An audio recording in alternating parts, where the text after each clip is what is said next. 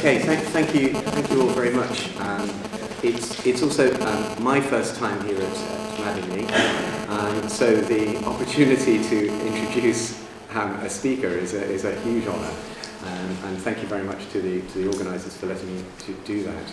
Um, Aidan Hart um, is, is not only an iconographer, he, he's an author. He's written um, two significant books, one book of essays and reflections, one book on practical techniques for icon and wall painting, which sounds a bit um, stodgy, but the introductory part to it, which is considerable, is, is absolutely superb. It's absolutely brilliant. And I'd recommend both of those. Um, Aidan's also founder and an active teacher on the diploma in icon painting, which he founded for the Prince's School of Traditional Arts. And he has also been the subject, I'm not sure how many people in the room will have come across this in, in I think it was January this year, but um, Aidan was the subject of a, a BBC Radio 4 National Radio Commission, um, which was spread over five days um, on the creation of an icon. Now, when I heard that this was going to be broadcast on radio, I was really rather puzzled as to how this was going to be done. I thought this is really going to be dreadful and, and, what have you, but it's absolutely the reverse. And if anybody hasn't had the chance to hear it yet, I don't know for definite if it's still on the iPlayer on BBC, but please do, if you get a chance to, to listen to it, it's absolutely excellent. Um, Aidan significantly is, is an iconographer, paints um, panel paintings, and is a carver of wood and, and stone as well. So unlike people like me who just research iconography, Aidan actually does it, which is, gets my full admiration. Um, I wanted to just say one more thing by way of introduction. Um, two weeks ago exactly today, um, I, was, um, I had the privilege of, of sitting and watching um, an icon painter on Mount Athos um, for a whole day in his icon studios um, whilst he was painting uh, an icon of the Apostle of St James as part of a broader commission. Um, I was there doing some research, and this was at the end of my, my two weeks that I'd, I'd spent out there. Um, he doesn't consider himself the best iconographer on Mount Athos, and it's a bit like asking a taxi driver who they think the best person of any type is anywhere in the world. You'll get umpteen different answers. Um, but when I spoke to the monks, this name cropped up over and over again, and this particular monk. So at the end of the day, when the Talanton was sounding for Vespers, um, I was quickly asking him about what he thought about contemporary iconographers in the world, so um, modern Greek iconographers and, and others, and he told me about that. And I wandered over to my bag, and I saw in there was Aidan's book, um, Beauty, Spirit, Matter, and before I could stop myself, I just said the word Aidan, and he was behind me, and he said, Ah, Aidan. Yes, I know Aidan. He's, he's a very good iconographer. How do you know him? And I said, Well, in two weeks' time, I'm going to be introducing him at this Friends of Mount Athos conference at Madingley Hall in Cambridge. He said, Oh, yes, I know Cambridge as well. So I've been asked to give my greetings specifically to Aidan from one great iconographer, Father Lucas of Xenophontos, to, to Aidan, but also to everybody um, here today. So that's it by way of introduction. I'll now hand over to you, Aidan. Thank you for It's a great pleasure uh, to be uh, back here again in this wonderful paradisical place. Uh, my subject is painting icons as prayer. Uh, in the past, I've tended to talk about the role of icons from the point of view of those who pray before the icon. But I've been asked today to speak more about the process of icon painting and how this process itself is a form of prayer.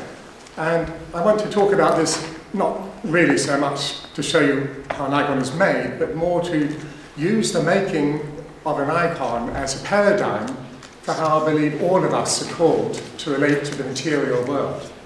So the making of an icon is like a microcosm of what you might call spiritual ecology, you can use that term.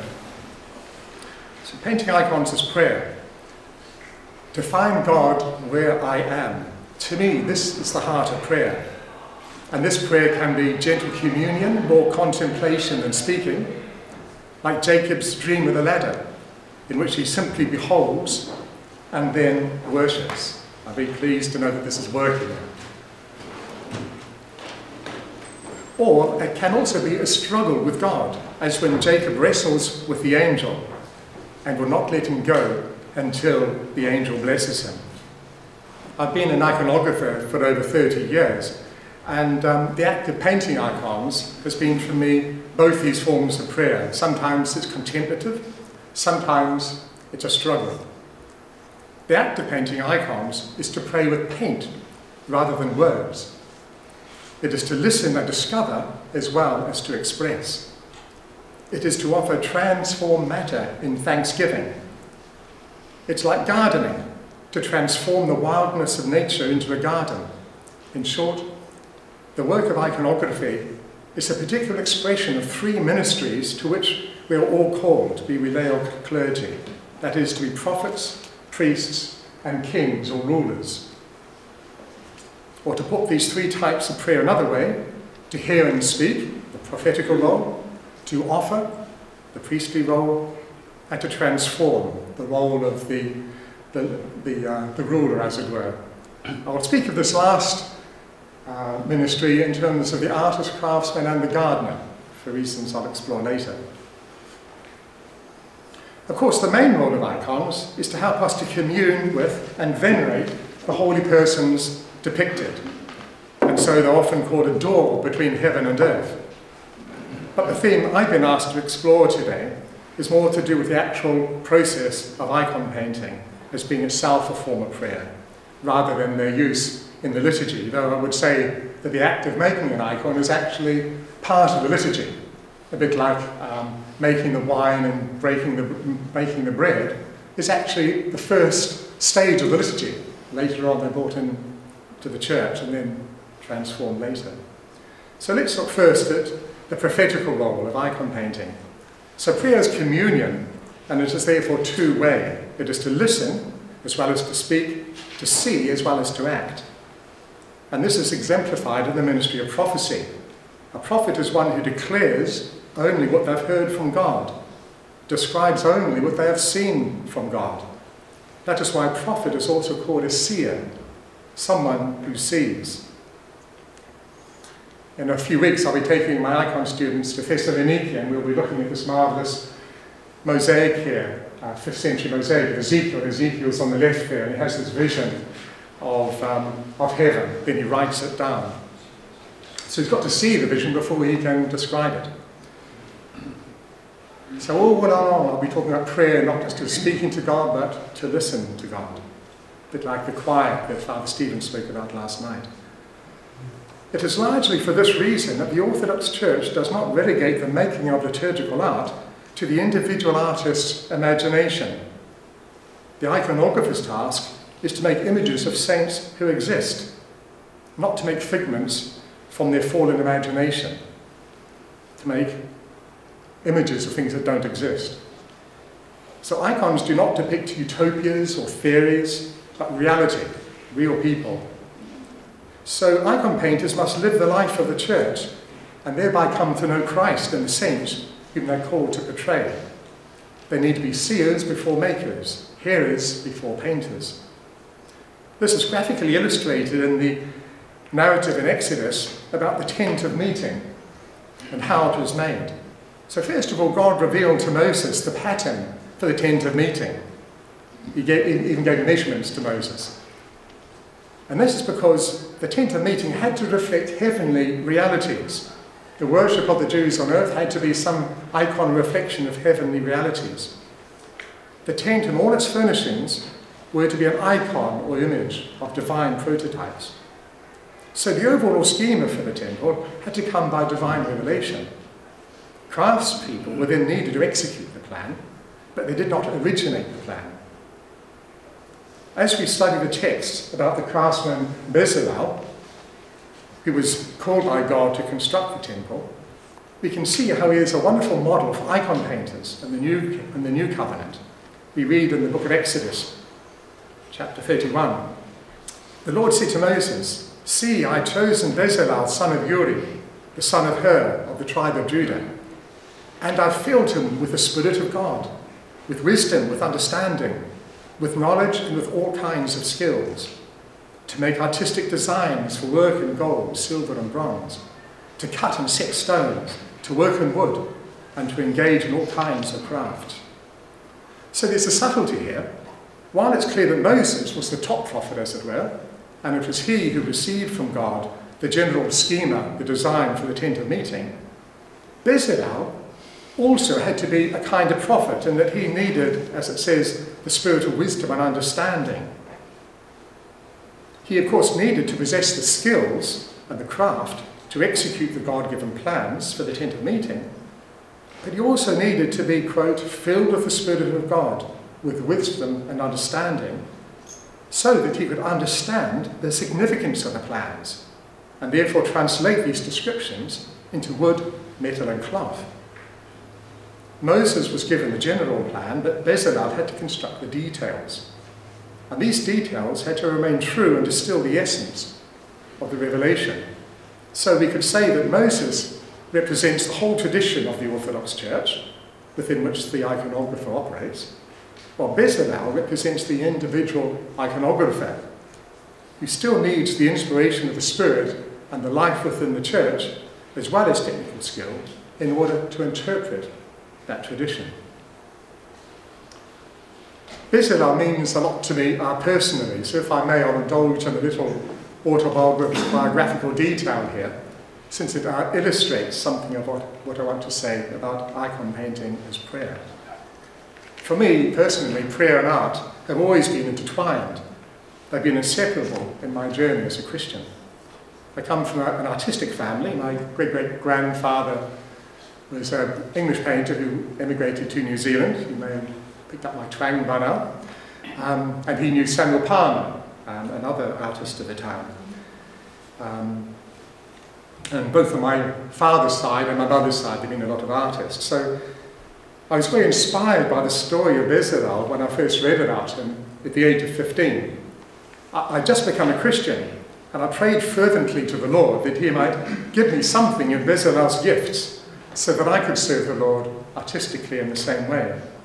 And I think eventually becoming Orthodox 10 years later and an iconographer is an answer to that teenage prayer. And I've even been blessed, like Bezalel, to be able to serve the church in a wide variety of media, like stone, wood, metal, fresco, and uh, mosaic recently, as well as egg tempera. But the journey has been long and convoluted, a sort of wrestling match with my angel, and I'll return to the story of uh, Jacob wrestling with the angel and Jacob's ladder quite a bit in the course of the next few minutes. So a few years within the Baptist communion after my conversion gave me a thorough knowledge of the scriptures, but of course little opportunity for art. But this was followed by a bit of time in a high Anglican parish in New Zealand, which uh, was a parish which affirmed the role of the material world in worship. We had incense and so on.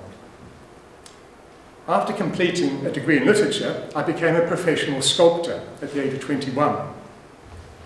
My aim was always to try to express the spiritual and the material nature of the human person in clay and bronze. In retrospect, I think I was trying to depict saints. I knew nothing of iconography or the Orthodox Church at this time. To this end, I experimented with different degrees of naturalism and abstraction so one of my first sculptures was this portrait, just naturalistic. So I thought, wherever I end up, I need to understand the human body. So having done that for about two or three years, I then started experimenting with means of emphasizing the spiritual nature more. So I experimented with elongation and simplification. After doing that about two years, I began to try to combine those two together. So you can see this is a, a combination of, of the two.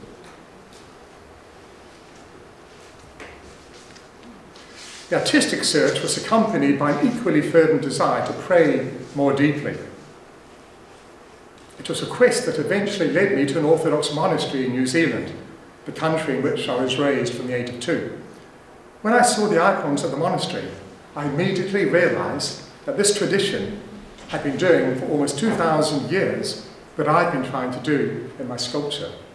And all the conclusions that I'd reached about how to suggest the spiritual nature of the human person were there in the tradition. Plus, of course, a lot more besides. And the tradition of the Philokalia to which the monks introduced me convinced me that I'd found what I call the detailed Ordnance Survey map of the soul, for which I've been serving, searching. I'd sort of had an atlas before, but I wanted something much more detailed, and here the Philokalia had it. A word kept reoccurring in my conversations with the monks there, transfiguration. That is, Christ and in him and our human nature and the whole material world becoming radiant with divine glory. This uh, tallied with a formative experience that I'd had 10 years earlier and which had led me to becoming a believer in the first place. A man came to our school and spoke about his conversion, and as he was speaking, Had a vision of a, of a radiant face, full of love, warmth, and light. No words, just the face, full of light. And behind this person were a community of people, a community of presumably the church. The frequent recollection of this face and the community behind kept drawing me ever forward in my quest. It is what directed my sculptural quest and my search for deeper prayer. But here in the icon tradition, or rather what that tradition represented, was the answer. A tradition that depicted Christ and his saints shining with the Holy Spirit in the kingdom of God. That face I'd seen was the transfigured Christ. So what does all this prophetical aspect of icon painting mean practically? To see and depict saints. How can mere pigment suggest this inexpressible light and love that I'd seen? How, for example, might an iconographer approach the painting of a festal icon. Now each icon painter has their own approach to this, so I can only describe my own process. The first stage for me in designing and painting an icon of a feast is to study the liturgical texts. And thanks be to God we have His Eminence and Mother Mary who translated many of the texts um, for us. So I study these and underline, you can see underlinings there. Um, and also the appointed biblical readings. Word and image go hand in hand in iconography, one interpreting the other, so they're inseparable. Also, I might study contemporary and patristic commentaries on the feast. And then I begin to assemble uh, existing icons of the feast. They can be um, new or old. That's a contemporary one by Father Zenon, and this is a much earlier illuminated manuscript. I might even look at relief carvings and ivory. So the end of this stage is to find out how past iconographers have expressed um, the spiritual essence of that particular feast. Contrary to popular misconception, there is considerable variety within the icon tradition. Different festal icons emphasize different truths about that sacred event. Just these two, you can see the differences. The next stage is to analyze these icons and ascertain how they've interpreted the theology taught in the texts. The aim of this is to gather a toolkit of stylistic devices to use when finally designing the icon. And then there is composition. So there's colour, of course, but what's the underlying geometry? A famous one, of course, is Andrei Rublev's so-called Trinity icon, or the Hospitality of Abraham. Uh, this was inspired, no doubt, by the words of St. Sergius of Radonezh, who said, contemplating the Holy Trinity, it has overcome the hateful divisions of the world. So Andrei Rublev is put the angels within a circle to show the unity within the Trinity, yet each persons of the Trinity are distinct. So there's a triangle to emphasize the distinction of the three persons. But it's open, it's not a closed circle, their love flows out. So one analyzes the icon to find what underlying structure there might be.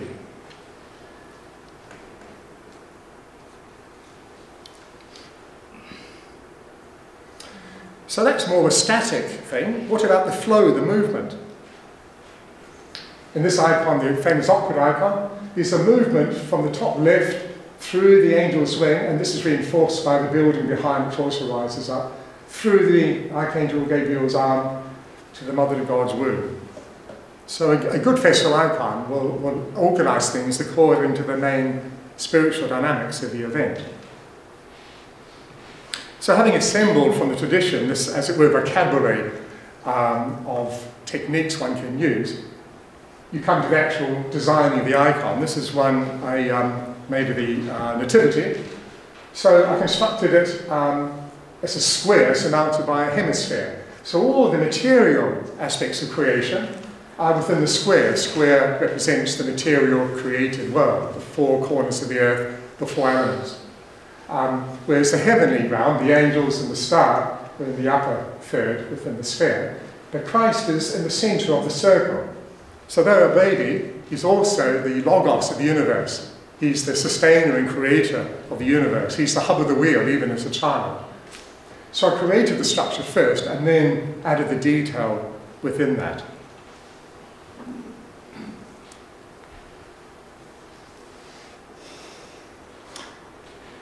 What motivates the design can be a number of factors. The commissioner may want a particular theological emphasis for this feast, or they could leave it to me. There's also the, inverted commas, the audience. Is there a theme that is particularly suited to the commissioning community, or more generally to our times and culture? Given the current importance of ecology, for example, I often try to bring out the orthodox theology of matter and our role and the role of our spiritual lives in our relation to the rest of the material world. Another thing to consider is the uh, context of the icon. I was recently commissioned to paint an icon of St. Giles for St. Gabriel's Chapel in the crypt of Canterbury Cathedral, and this has Romanesque wall paintings. Not a very good photograph, I'm afraid. So I designed the icon um, inspired by Romanesque, um, particularly Romanesque illuminated manuscripts, uh, the uh, Bible of um, Bury St. Edmunds, for example.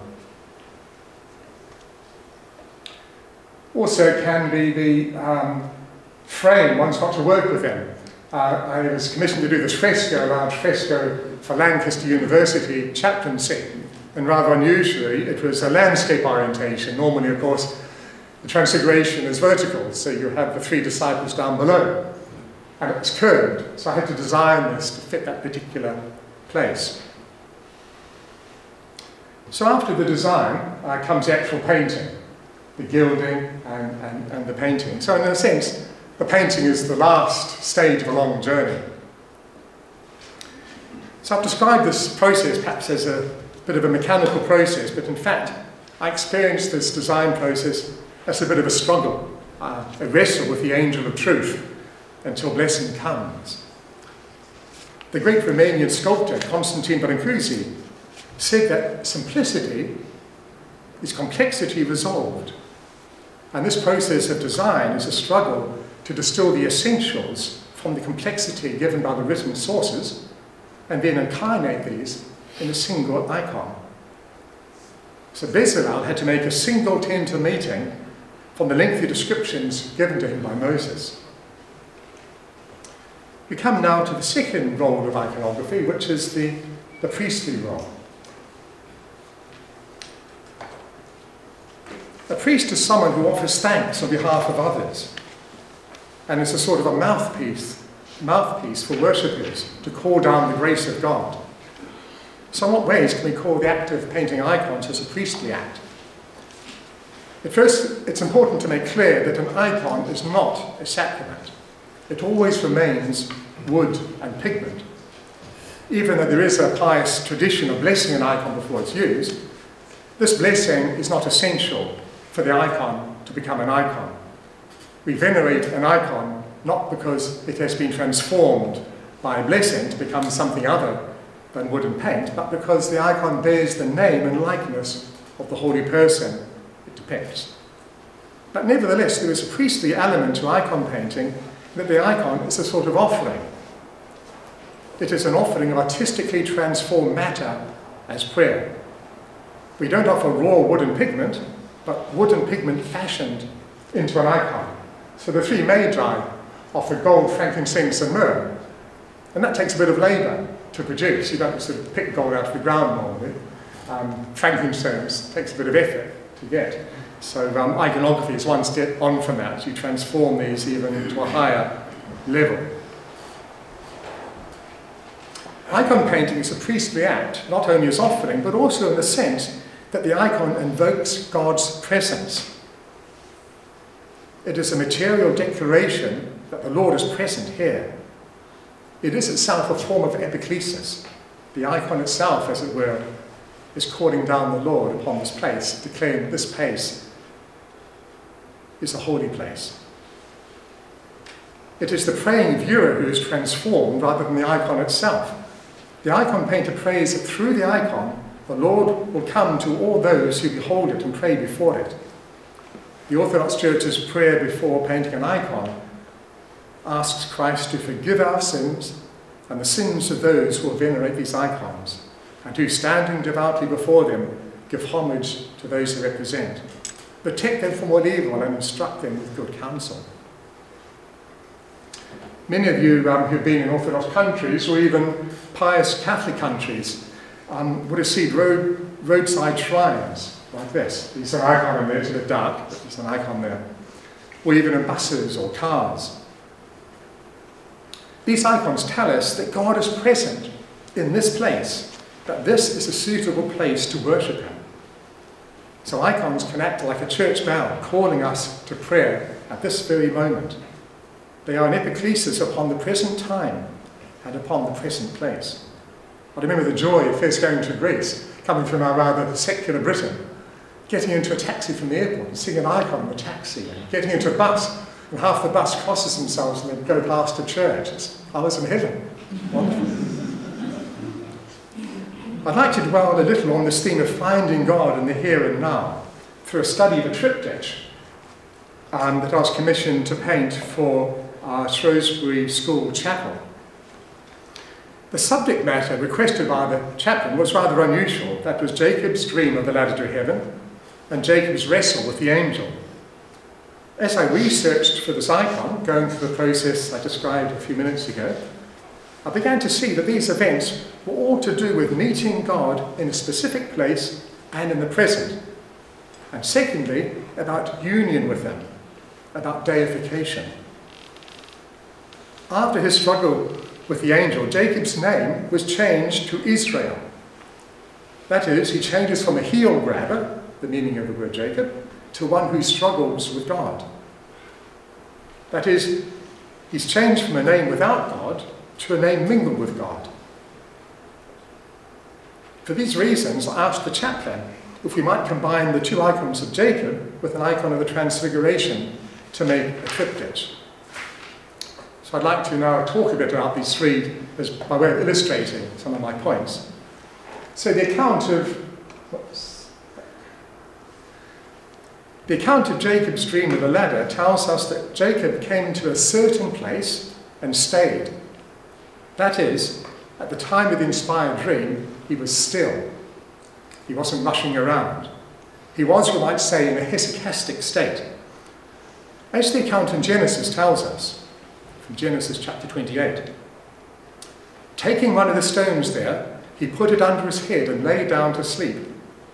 He had a dream in which he saw a stairway or ladder resting on the earth, with its top reaching to heaven, and the angels of God were ascending and descending on it.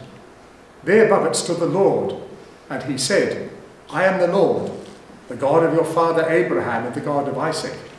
I will give you and your descendants the land on which you are lying. And when Jacob awakes, he declares, Surely God is in this place, and I did not know it. So this place has become for Jacob a holy place, a place of divine presence. And he declares, How awesome is this place! This is none other than the house of God. This is the gate of heaven. He then sets up a pillar. As a pillar, the stone that his head had been lying on while he had the dream, and he pours oil on it. And he calls the place Bethel, meaning God's house. Now, perhaps Jacob didn't realize it, but it is not just a geographical place that has become holy, but more importantly, he himself has become the holy place. He has become God's house. The dream occurred within himself, so he is the holy place. The ladder went into his soul. I was very interested to note those wonderful quotes um, earlier on from the hymns um, that, that, that Elizabeth showed us about the soul, entering the soul and there finding, as it were, the Lord dwelling within. So when he awakes and says, How awesome is this place? This is none other than the house of God. It is in fact he himself who has become this awesome place. To become the temple of the Spirit is, of course, the whole aim of the monastic life, the hesychastic life, the Athonite life, but also ultimately of every Christian, every one of us here. And as some of you all know, after 12 years, I was um, testing the monastic life and six years um, as a hermit on the hills in Shropshire. But my life now, married with children, is the same. I desire union with God in the same way. My obedience is a different form, but if it's obedience to Christ, it brings the same fruit.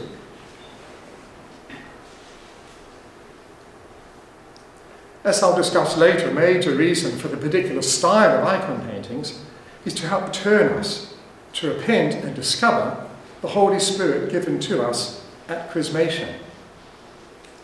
It is not just what the icon depicts, but how it depicts its subject that the icon tries to awaken to us, awaken to us the Holy Spirit's presence in our hearts and in the world. A very formative book in my early Christian life was a really little book called Sit, Walk, Stand, written by Watchman Nee. And this is based on the book of Ephesians. So St. Paul first talks about the past, how God has raised us up in Christ and has seated us in heavenly places in Christ Jesus. At the ascension, this happened. It's a fact. So he said we need to rest in this first. And only then can we walk in the Lord.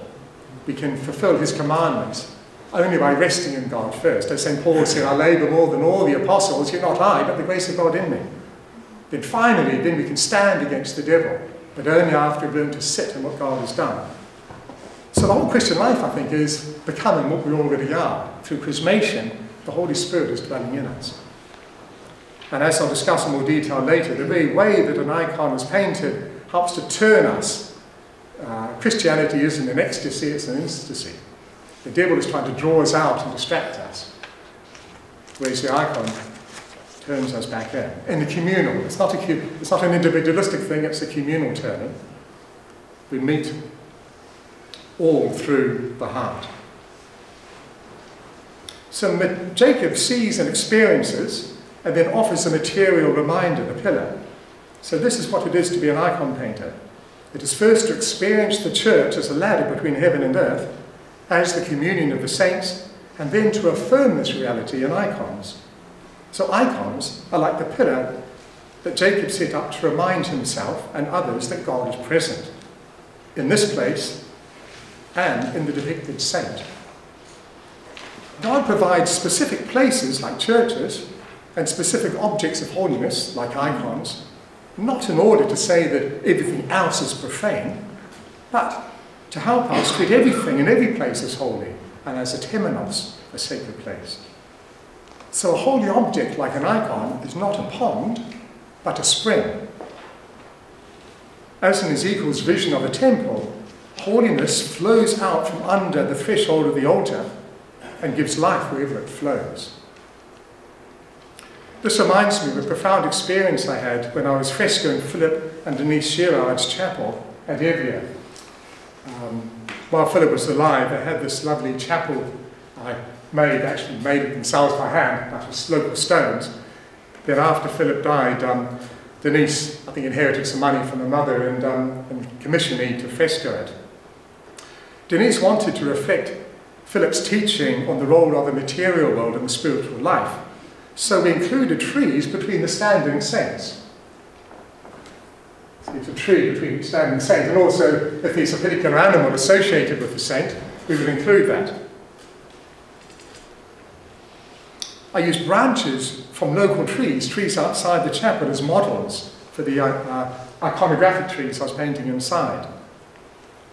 I painted them, of course, not naturalistically, but in their transformed, transfigured state, as bushes are light essence without being consumed. So this prolonged experience, the church of about three months to fresco, of painting trees within the chapel as paradisical trees, helped me gradually to see and experience the trees outside in the same way. The specific within led to the general. I felt that the borders of paradise were expanding beyond the chapel walls.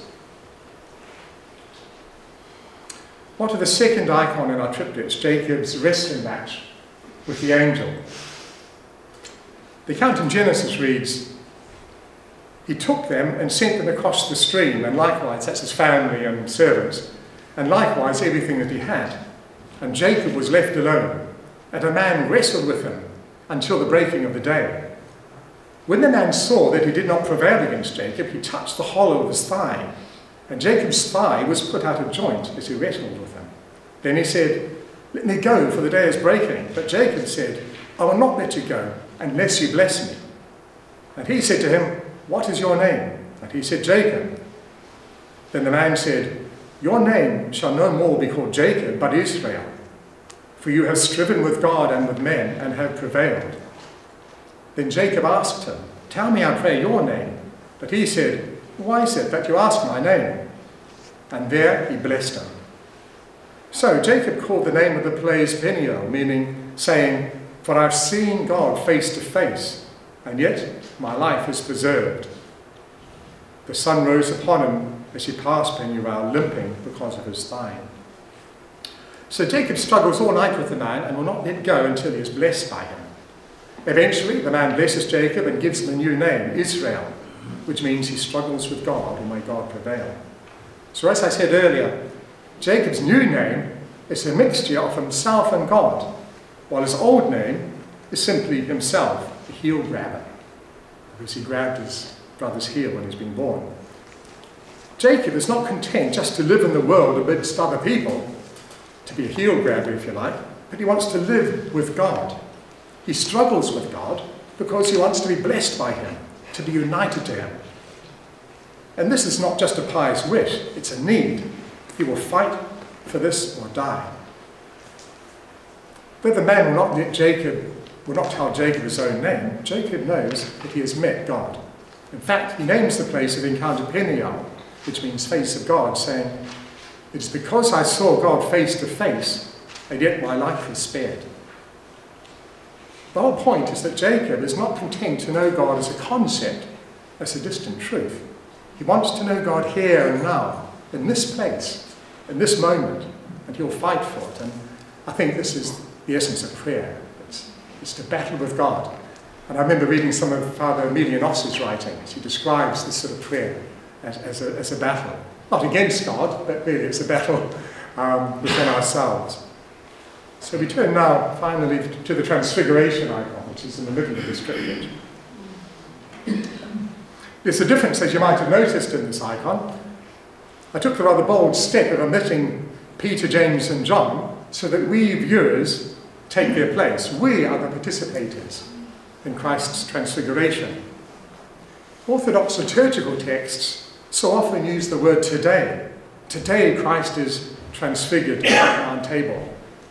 And this is not mere poetic license, but a declaration that divine time, or kairos, spills out from created time, or chronos, and into the present. A divine event in history acts like a sacred place. It exists to make holy what is beyond it. So just as the two images of Jacob are about encounter and communion with God wherever we are, so too is the transfiguration icon. But there is a difference here. With Jacob, God stood above, or in some translations, beside him, and God gave him but a glimpse of interior union. But in Christ after Pentecost, God can dwell within us in a permanent union, not just above and beside, but within. This is why halos are so important with icons. It shows that the Holy Spirit dwells within the saint, radiating out from within. This is an inseparable union of the Logos to our human nature. This is why the fundamental defense for icons is the incarnation. It is because God, by grace, has become flesh and blood that we can depict him, because he's become visible. Conversely, this is also why we can depict saints, because they are beings of flesh and blood who have become gods by grace. We'll return to Transfiguration a bit later. We talk now about icon painting as thanksgiving, the other role of a priest. To give thanks is to trace the gift back to its giver. Thanksgiving puts a face to a gift, it personalizes it. This is why icons never depict created things in isolation. We don't have an icon of a tree or a mountain by itself. Always it's in the context of the church and through the church and the saints with Christ, the creator of that rock or tree.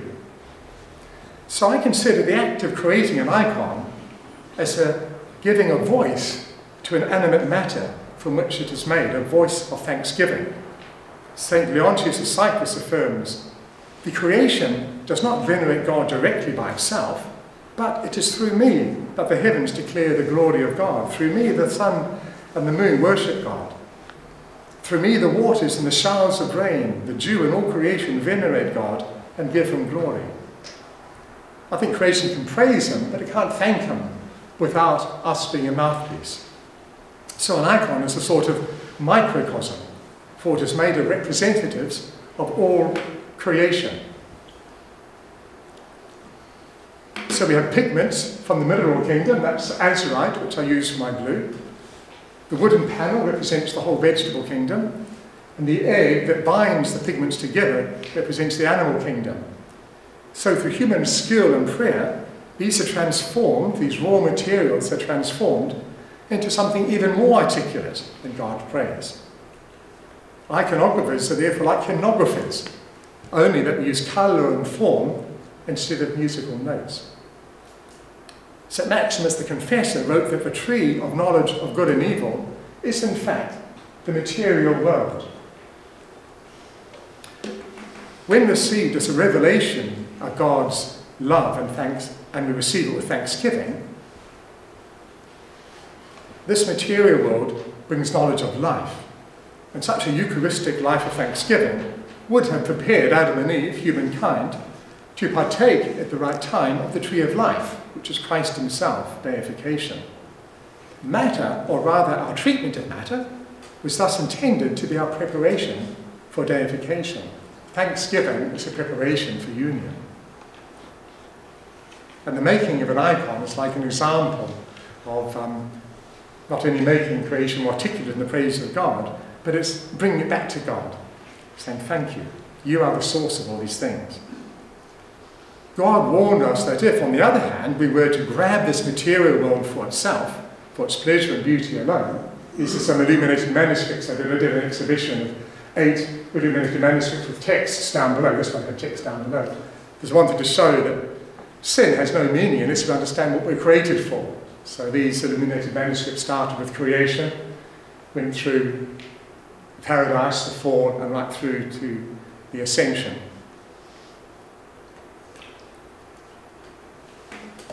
So if we grab this material world for itself, for its pleasure and beauty alone, then this attitude of thanklessness would bring knowledge of evil. If we use our power and authority to degrade creation rather than make it more articulate in God's praise, then the tree of creation becomes for us knowledge of evil. I think our secularism and our environmental problems today prove that God's warning is true. So this leads us to the third role of the iconographer, and that of all Christians, that is to be rulers and gardeners. So in what ways did God intend us to rule in this world? This is something say in Sicily, Palermo. God having created um, everything, and then he creates man and breathes life into him. Then of course later on God names the creatures. In the first chapter of Genesis, we read that God blessed Adam and Eve and told them, Be fruitful and increase in number, fill the earth and subdue it. And in the next chapter, to work Eden and to take care of it. So our task is not only to give thanks to be priests, but also to be rulers and gardeners and labourers, to tend the world and make it into a paradise, to help seeds become plants, if you like. We are priests, but also princes and princesses. Our authority in this world is given to nurture it and to raise it, not to degrade it. We are called to be labouring royalty, to work as well as to rule. We are to rule from within our kingdom, to get dirty, if you like, and not to preside loftily as from a, a distant palace. An icon painting can be regarded as an expression in miniature of this calling to be princely gardeners or craftspeople. So let's think of um, Eden to be a, a wonderful God-planted garden in the midst of a fecund but wild forest. So here we have the whole creation in the middle is a garden which God has planted. So this God-planted garden is a synergy of the divine mind with the wild puppy-like energy of the virgin forest that surrounds the garden. Like this garden around us here is a result of God's creation, but also the gardener who designed it. It's a synergy of human and divine life.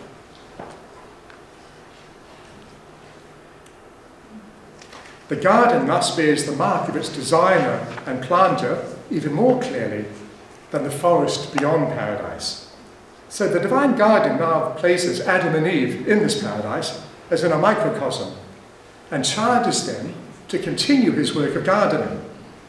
In creating Eden, the Lord has set an example for Adam and Eve, and they are to continue in the same vein, but in their own unique way. So when the Lord enjoins them to be fruitful and multiply and subdue the earth, what he's really asking them is to make the whole world into a garden. Their authority over the world is to nurture and develop it, to raise it up, not to pollute and destroy it.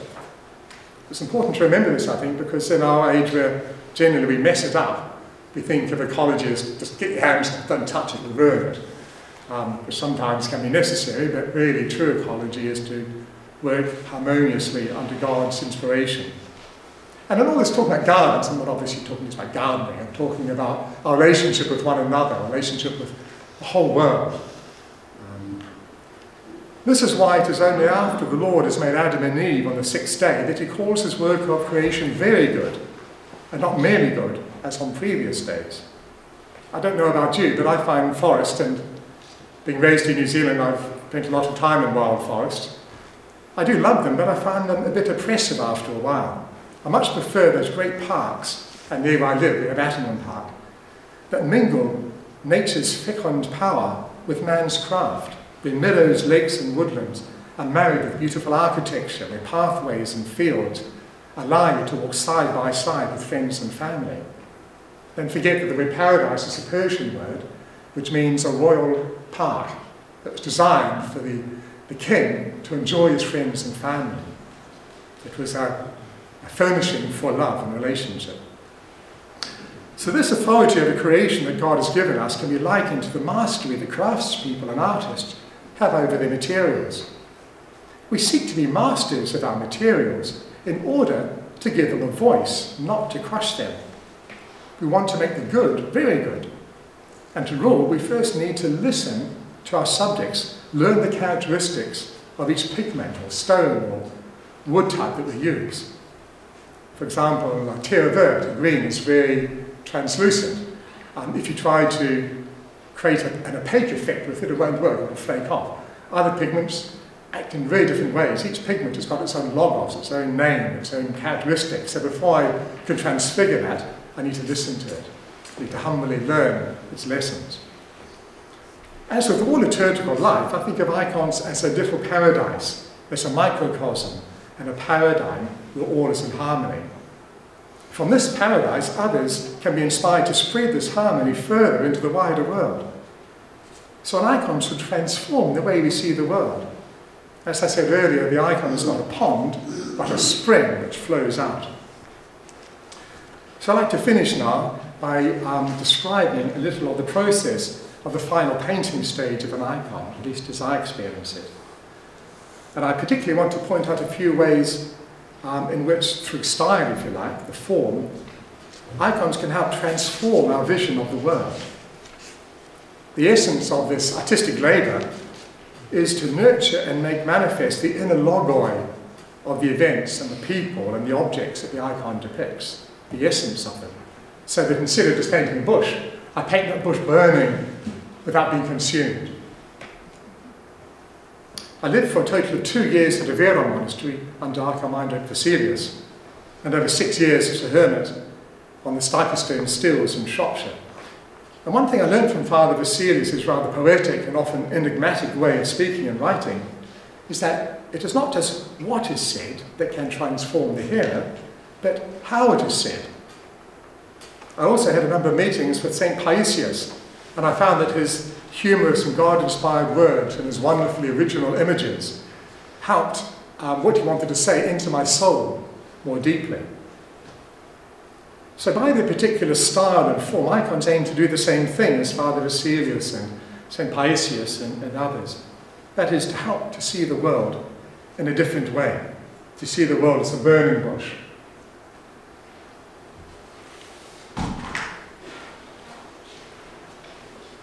In a sense, I think paradise is here, and when the Lord opens up our eyes, it becomes paradise for us because I see not just an oak tree, but I see an oak tree aflame with the Logos within. And what I love about the Transfiguration event is that the scriptures say that not only was his face shining, but his garments. His garments were just inanimate matter. But what's interesting is that the word cosmos, the Greek word used to describe what we now call nature, means adornment. So in Christ's garments, as well as his body were transfigured, basically we can think of him in his whole life on earth, gathering together the whole of the cosmos, wrapping it around himself and transfiguring it. So when his garment is transfigured, we can see the whole world beginning its process of returning to its original glory.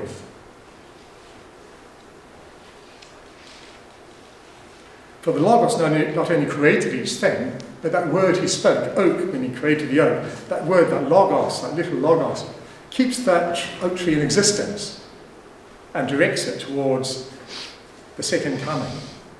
And these individual words within the created world are not uh, words of isolation as in a dictionary, but gradually realize that each thing in creation, from a mouse to a stone to my wife to anything, that whole range, is actually a hymn of love, a poem of love written by God to myself. That's why within an icon, everything needs to be arranged harmoniously within the frame, which is called a kibitos. Nothing is arbitrarily cut off. This is a microcosm of a stanza of God's poem to us. This is why also icons sometimes use gold lines called assist. So we see this, it's just a building, but there are gold lines on it. And in Christ's garment, just inanimate matter, but gold lines. And of course, the gold stands for, for God, for the Spirit. So icons show the material world drenched with glory, matter made tra transparent to the divine. The whole basis of the icon is the incarnation. God is with us. So each icon is an extension of what happened 2,000 years ago in the Holy Land. The icon helps me to find God here, now, be it as a family man with children or as a monk in a cave in Mount Athos. So a, a, icon depicts an event that happened in historical time or chronos, spilling out into kairos. God is acting through an event in history and flowing forwards and backwards. So, for example, the Pentecost icon shows St. Paul present, even though he wasn't present. He wasn't even a Christian at the time of Pentecost. But that divine Pentecost spills forward and, as it were, brings Paul into it. So for me, as an icon painter, making an icon is a journey, and it's, as it were, a microcosm of all of our journeys, I think. But it's not a journey away from ourselves, but a journey towards ourselves, back to where we were. And I think this is hesychasm, this is why we often sit on a low stool and bend round down to make a circle out of our body, so that we return to ourselves. At first, our prayers might be shooting outwards, but really, hesychasm is addressing the Holy Spirit who dwells within. Hesychasm is to be where we are and to be there with God. T.S. Eliot wrote in Little Gidding, the last of his four quartets, with the drawing of this love and the voice of this calling, we shall not cease from exploration, and the end of all our exploring will be to arrive where we started and to know the place for the first time. Does it remind you of Jacob? He wakes up and he realizes God was in this place. He hasn't moved at all. He's just woken up. So this need to turn and find God where we are in part explains the strange perspective systems of an icon. So we can see, I say this building here, this part is viewed from the front, whereas that part is viewed from the right-hand side. So simultaneously, that building is viewed from the front and the right at the same time. In other words, it depicts it as it is in God. Or we have here um, a holy table, and the lines meet in front, not behind.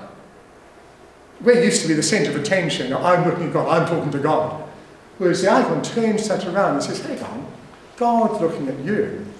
The icon depicts the world seen from God's point of view. If God stopped looking at me, I'll cease to exist. I remember when I was studying literature at university, our lecturer was um, speaking to us about um, Augustinian poets. And he said, oh, I think it was Plato. This poet said that uh, if God ceased looking at us, we'd all disappear. And we all laughed, oh, what a silly idea. He was quite right. God, we only exist because God continues to look at us. And this is, so you don't have to read it like you're reading something like a book, or that means this, this means this, but it acts on your soul over time. You're turned, you're transformed. In fact, it can be more powerful for um, not being conscious. Hills and mountains also express the spiritual dynamic of the sacred events. So in the resurrection icon, the hills behind are like jaws opening. As I said earlier, the image and the text go hand in hand, and the liturgical texts talk about the jaws of Hades. Christ does a bit of a trick on Hades. Hades can only eat people, so God becomes a human being, and Hades thinks, oh great, he's a great man, gobble him up. And then he realizes, oh no, I've swallowed God, and he's got to vomit up not only Christ, but all those who've been uh, captured therein. Or here, the central mountain is reaching upwards, stretching upwards. This is because not only was humankind waiting for God, but the whole of creation was yearning for God's coming, because by our foolishness, the whole of the created world suffered mortality that was way down. So here, whole creation is, is yearning, and there's a wonderful um, text, a wonderful hymn that says, you know, what should we give you? Earth is offered a cave, the Magi their gifts, the angels they wonder, we offer you a virgin mother, but earth offers a cave. Often people will ask why the faces of icons look a bit sad. Well, really, this is a fresco I did in my hermitage of uh, St. Cuthbert. Ideally, you're, aiming for a bright sadness. The saints, of course, are full of joy, but also, even in heaven, they feel compassion for us. They're with us in our suffering. So you, you won't find any excessive movements or expressions in icons because the saints want to help us find inner quiet, to find that inner treasury of which St. Isaac the Syrian writes so eloquently. Be peaceful within yourself, St. Isaac writes, and heaven and earth will be at peace with you. Be diligent to enter into the treasury that is within you, and you will see the treasury of heaven. For these are one and the same, and with one entry you will behold them both. The ladder of the kingdom is within you, hidden in your soul. Plunge deeply within yourself, away from sin, and there you will find steps by which you will be able to ascend. So when I sit before the white gesso of an icon panel, I'm aware that the journey is about to begin. And I know from experience it's not going to be an easy journey. It's an impossible task, really, to indicate uh, invisible, ineffable things, but you can just hint at it. You can reflect something of the character of the saints, their gentleness, their love, their compassion. Of course, you've got the whole icon tradition to help you on this. You're not alone, you're not reinventing the wheel. Um, but the icon painting process is not like a photocopier. You're not a photocopier, you're, you're a living being. So that tradition's got to come through you. So to conclude, I'd say that Prayer, both private, if we can use that term, and liturgical, must be at the heart of the icon painter's life. He or she is called to bear witness. For witness is someone who is seen for themselves. The believer is the temple of the Holy Spirit, and prayer, repentance, and love is the path to that inner sanctuary of which St. Isaac speaks, where we can meet the Spirit. But for an iconographer to see and know this is not enough. Their ministry is also to testify and paint to what they've seen and known. The ministry, like a composer of hymns, demands skill and craft to express this knowledge to others, which is why I founded that icon school. Get, I found plenty of pious painters around, but without that skill, the icons are being clumsy and, and don't express the profundity of that experience. And the vision that an iconographer is trying to convey is not of pure matter or pure spirit, but of matter imbued with spirit, creation transfigured by its creator, of man become God by grace, because God has become man out of love. And it is a communal vision. It's not just the person of Jesus Christ whom we depict in icons, but his whole family Moses, Elijah, and all the Old Testament prophets, and angels as well. All the saints of the New Covenant and the Old. So, this rhythm of inner and outer, spirit and matter, mountaintop experience, followed by labour on the plains, is of course common to every one of us. So, everything I've described today about the specific challenges facing the iconographer is but a graphic illustration of the calling facing every one of us, be we cleric, monk, or lay, hermit or married. So may the Lord help each one of us to complete our own pilgrimage. Thank you.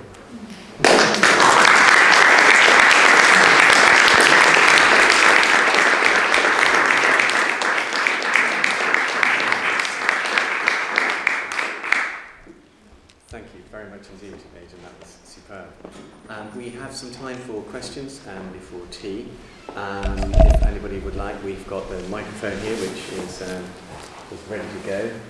Um, when I read um, your book, Beauty, Spirit, Matter, one of the things that struck me was something you said about that the iconographer mustn't just care about what they do, but they must have courage and I quite liked that. And I thought that's really quite interesting because it moves away from a sense in which icon painting is a copyist thing. We've talked about this before, and it's just a replication of standard templates. It's absolutely not.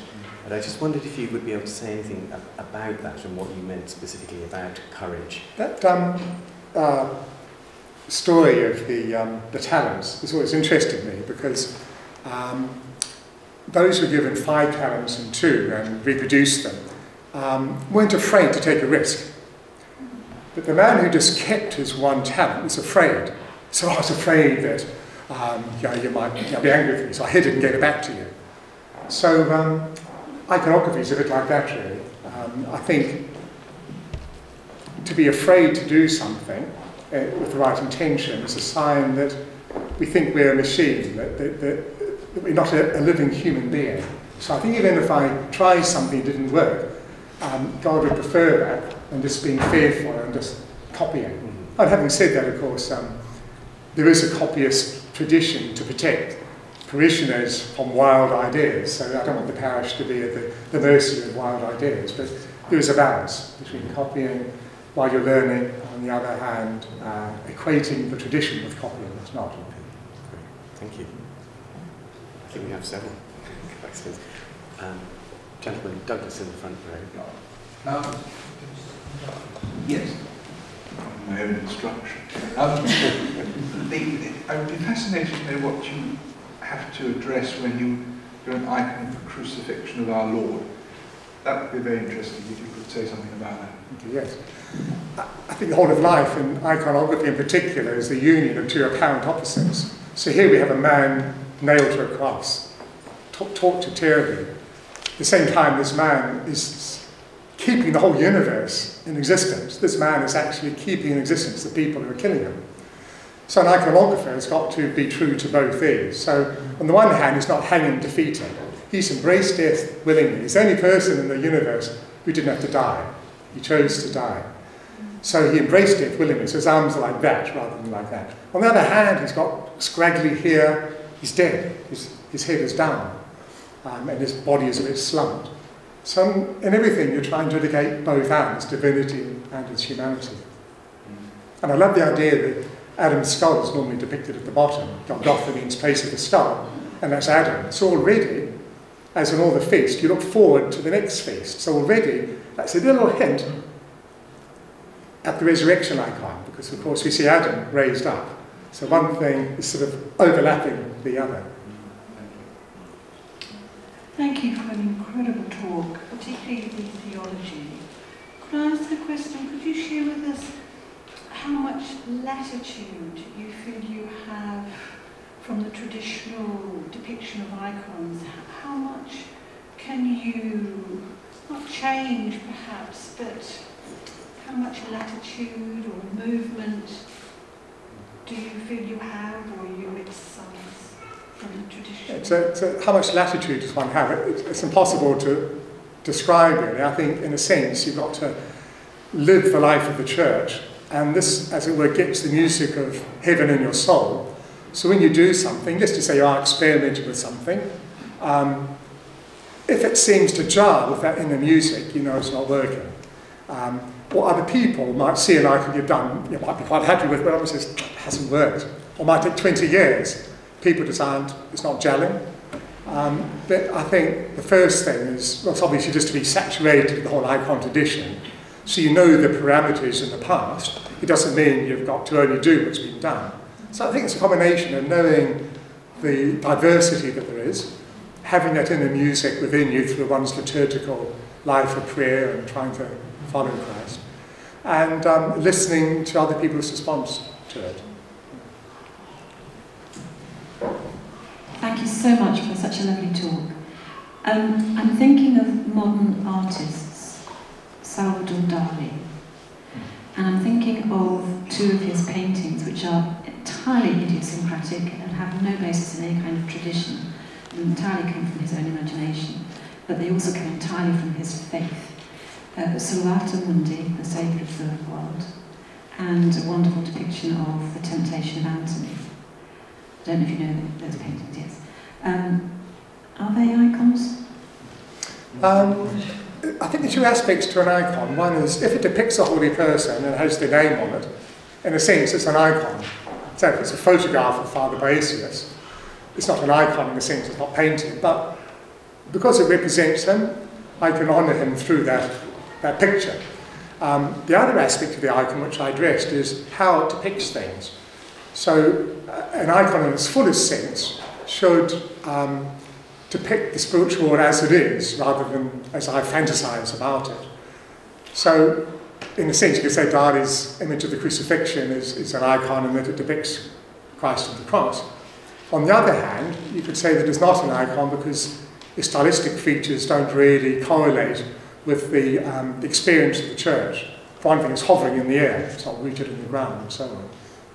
So I think here there's a difference between art, and I think of art at its best as, but like the Magi, they were searching, and I think in the artistic world, if there's a genuine search for truth, it can gradually lead toward God.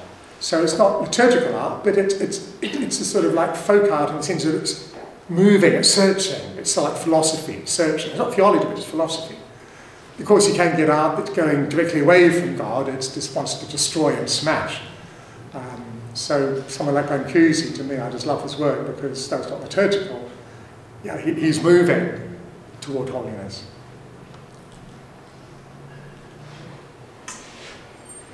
Thank you very much. In you, you talked about Eden as a, a garden amidst a wild but fecund world, which is a lovely image. And yes, of course, we are, we are told Eden is a garden. But according to all our human understanding, the way we convert something into a garden is essentially to limit its fecundity. You know, I mean, who wants beavers in their garden? You know, forget beavers, I mean, we don't want slugs or moles. So then, thinking about what you were saying later in your talk, I wonder if what the icon teaches us is less that we should be making the world into a garden, but that we look back at the world and realize that it is God's garden. Hmm. Yes, um, in a talk like this, you've got to sort of perhaps overstate one thing to make a point, but you realise things are much richer than that. So I think I mentioned at one point as, as an artist, you've got to listen to your materials. Mm-hmm. So I, I, I, suppose gardening we think of as being active. I remember once when I was at Iviron, um, before I went back to my hermitage, I was talking to Father Gabriel, the gardener, and I asked him about wild herbs and, and things, and, um, and you know, how to garden. And um, I was asking a particular question, and he said, "Oh, just listen to the plants; they will tell you what to do." so I thought that's lovely. I think um, one's got to be primarily a listener, uh, and then act. And then often when we listen, we don't act so much. So as you're saying, um, uh, just, just to enjoy what God has made, and we probably would try to control it a bit less.